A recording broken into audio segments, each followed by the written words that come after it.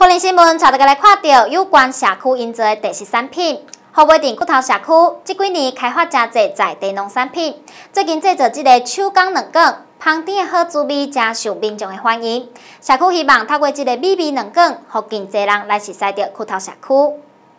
为了将在地特色推广出去，最近骨头社区配合劳动部多元开发方案，推出手工软卷，有时阵也可以开放给社区的时代体验看卖，互因会当知影软卷的制作过程。足好的，啊足欢喜的，心情是真好。哦，啊无倒内底安尼吼，感觉安尼足无聊的。那今年开始呢，因为我们那个有受到劳动部。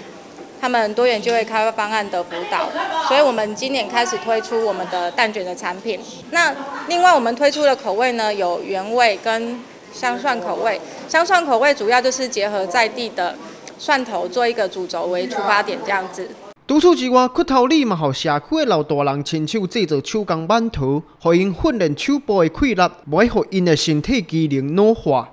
啊，较袂安尼一厝出差啦。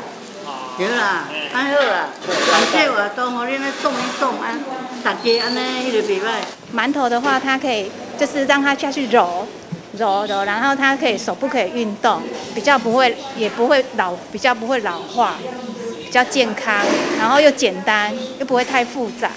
回家都可以自己操作这样。未来骨头里长希望会使利用在地制作的农产品推销到外县市，互更较侪人会使看到骨头里。哦，阮朝这个方向就是要甲咱社区在地的农产品尽量甲行销出去，包括讲阮的